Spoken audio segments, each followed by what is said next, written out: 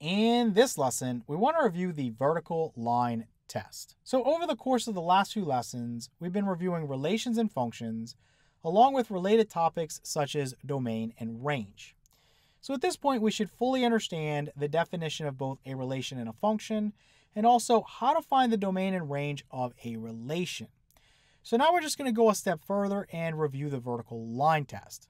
So again, I know most of you took Algebra 1 and Algebra 2 prior to joining this course, and essentially you already know what the vertical line test is, but in case you've never seen this topic before, the vertical line test is just a visual way to determine if a relation is a function. Now, before we go too far into this, I want to make sure that you understand the concept of a vertical line itself. So with a vertical line, no matter what value you choose for y, x always just equals some number. So the way this equation is set up is it's x equals some real number. Let's just call it a. So a could be square root of 2. a could be negative a trillion. a could be positive 1 billion. It could be any real number you want it to be. Essentially, no matter what you choose for y, x just equals a. And a lot of people just say, oh, well, where's y? There's no y involved in this equation. We can use a little trick and say that this is x plus I can put a 0 as the coefficient of y, and then put y, and this equals a. So now I've written it as a linear equation in two variables, and I can put it on my coordinate plane. So this is a way that we can kind of graph this guy and see what it looks like visually. So again, no matter what I choose for y, I'm multiplying it by 0, so it goes away, and x just equals this real number a. So to see an example of this, suppose we're given x equals negative 4. The quickest way to graph this is just to go to negative 4 in the x-axis and draw a vertical line. This is what you're going to do throughout most of the time that you're graphing these guys. But when you first start out, you might see it in this format just to make it crystal clear what's going on. So again, you might expand it and say x plus 0y equals negative 4. You might choose some values for y just to see what's going on. So you might say let y be negative 4, let y be 0, let y be positive 4. Well, okay, if I plug in a negative 4 for y, what's x? Well, 0 times negative 4 is 0, x is negative 4. Same thing goes if I plug in a 0 for y, 0 times 0 is 0, x is negative 4. And with 4 as well, 0 times 4 is 0, x is negative 4. So the idea here is that x is always negative 4 no matter what you choose for y. So this is going to be important for us to understand when we look at a vertical line, it's always going to have the same x value, okay? The x value will not change, and we'll talk about why that's important in just a minute. But let's just write these ordered pairs out. So this one's negative 4 comma negative 4, this one's negative 4 comma 0, and this one's negative 4 comma 4. Okay, so let's go down to the coordinate plane. So here's our graph of x equals negative 4, and I've already pre-drawn this stuff just to make it a little quicker. We found some ordered pairs. We said we had negative 4 comma negative 4, which would be right here, right? 4 units to the left, 4 units down. We had negative 4 comma 0, which would be here, right? Just 4 units to the left. And we had negative 4 comma 4, so 4 units left and 4 units up. So again, no matter what I choose for y, x is always just negative 4, okay? And the quick way to do this is just to go to negative 4 on the x-axis and sketch your vertical line. As another example of this, suppose you got something like x equals 7.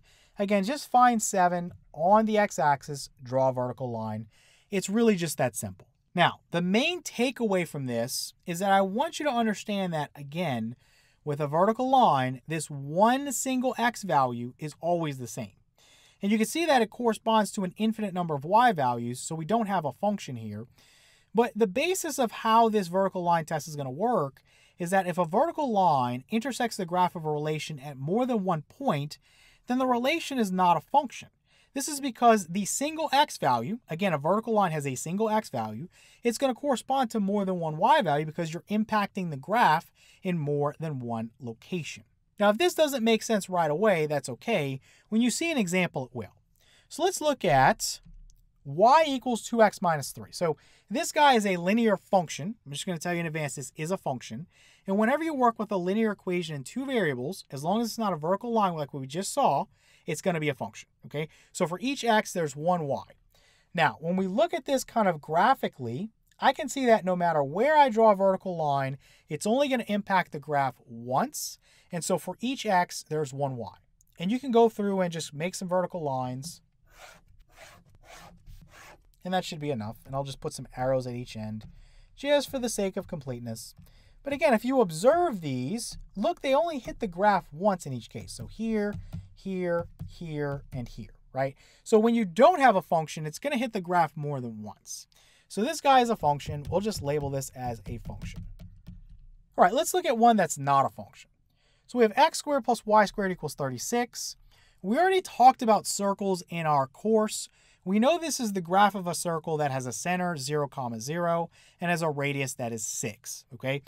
But essentially what we want to understand here is that visually we can determine this is not a function by graphing this guy and then we can draw some vertical lines. We'll see that the vertical lines hit this circle in more than one location.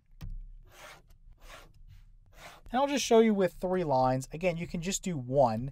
As long as one hits the graph in more than one location, you know you don't have a function, right? So this guy hits here and here, this guy hits here and here, this guy hits here and here. So let's think about an x value of 0 corresponding to a y value of 6 and negative 6. So for that one x value, you've got two associated y values. Again, 6 and negative 6. To think about why this happens, let's take this equation and solve it for y. So we have x squared plus y squared equals 36. How do we solve it for y? Well, if I want to solve for y, I want to subtract x squared away from each side of the equation. I'll have that y squared is equal to negative x squared plus 36. To get y by itself, I'm going to take the square root of each side. But remember, I've got to take plus or minus the square root of the right side.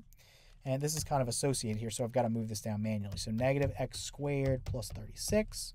I'm going to go plus or minus the square root of this, and I'm going to take the square root of this. And so I'll have y is equal to plus or minus the square root of negative x squared plus 36.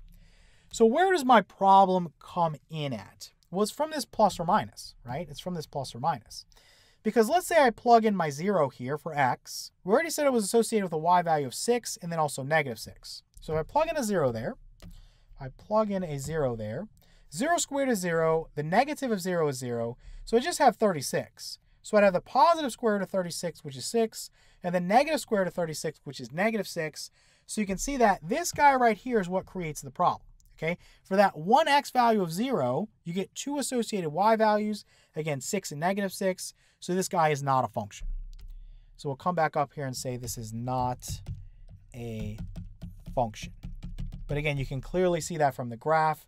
If a vertical line impacts it in more than one place, not a function. All right, let's look at another example. So this guy is going to be a parabola.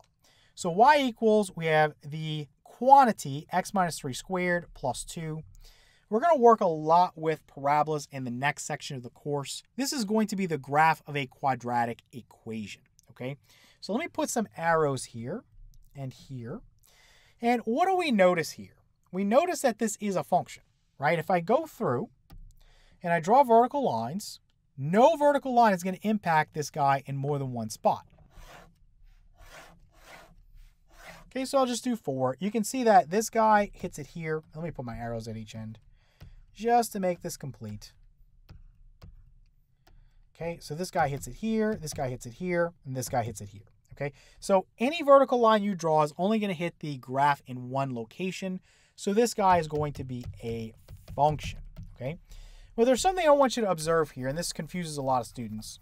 Remember, we had these problems that we looked at where a single y value was sometimes associated with more than one x value, and we said that that was still a function, right? That was okay. So in other words, I could have a set of ordered pairs where I had 2 comma 5, and then let's say I had 3 comma 5. This is a function, right? Because 2 is associated with 5. So for this x value of 2, I know that y is 5. And 3 is associated with 5. So for this x value of 3, I know that the y value is 5. So this is okay. The same y value can be linked up to more than one x value. It's just that an x value can't be linked up to more than one y value, okay? So in this particular case, what you'll notice is that with the exception of a y value of 2, okay, this would be a y value of 2, you'd have an x value of 3 there. Every other y value is linked up with more than one x value. And that's because of this squaring operation here, okay? That's what's creating that.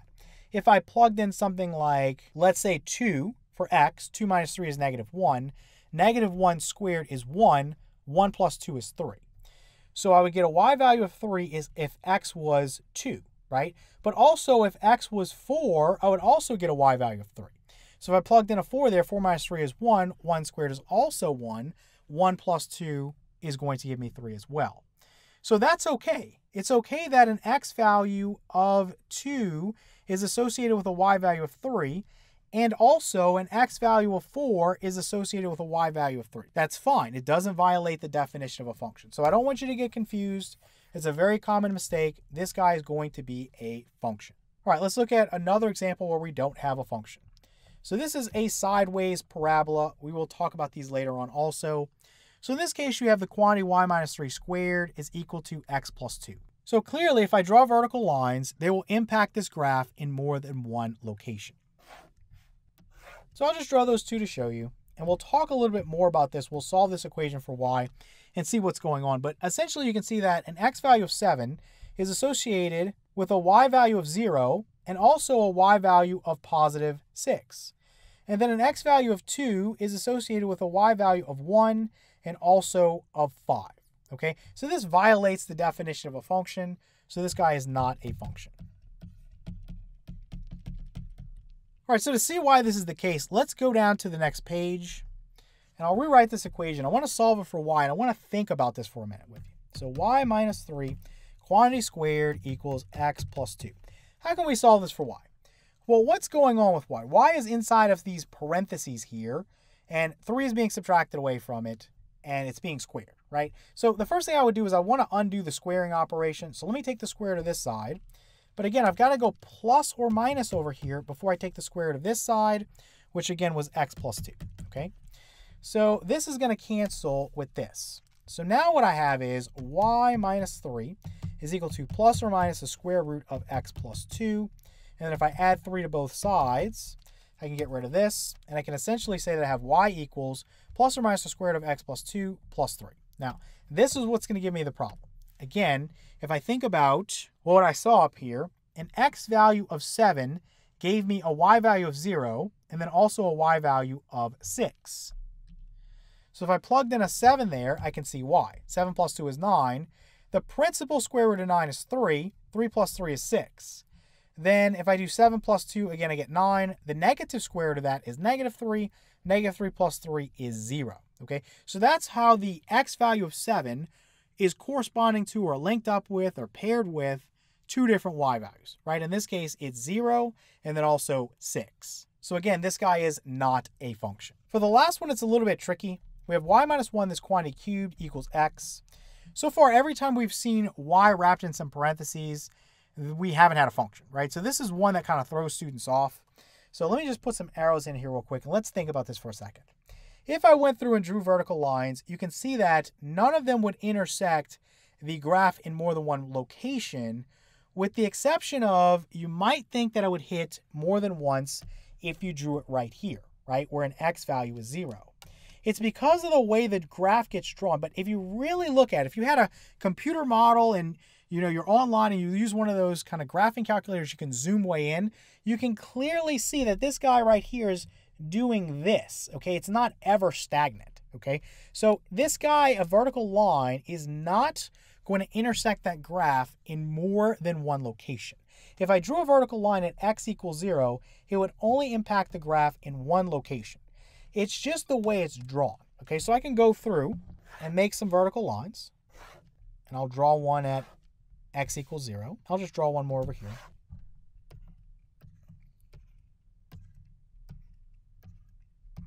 And again, in each case, this is going to impact the graph in one place only. Now, to show you this completely, let's solve this for y. And again, we can think about an x value of 0. So let's go down here. So we have y minus 1 cubed equals x. How am I going to solve this for y? Well, what I'm going to do is I'm going to take the cube root of each side. So this is going to what? This will cancel with this. And what I'm going to have is just y minus 1. And this will be equal to the cube root of x. And I can add 1 to both sides of the equation. So what I'm going to end up with is just y is equal to, I'll have the cube root of x and then plus 1. Okay, so let's think about an x value of 0 now. If I plugged in a 0 there, am I going to get two different outputs for y? The answer to that is no. The cube root of 0 is just 0. y would just be 1 and 1 only. So for the given input of 0, the y value is only going to be 1.